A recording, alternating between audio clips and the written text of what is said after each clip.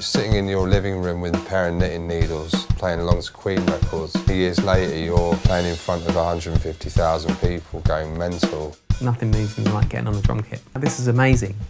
You know, like playing Sydney Opera House with Billy Bragg.